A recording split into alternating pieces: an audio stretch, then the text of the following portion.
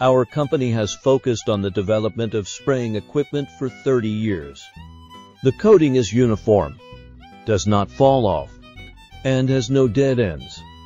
We have rich experience and perfect service.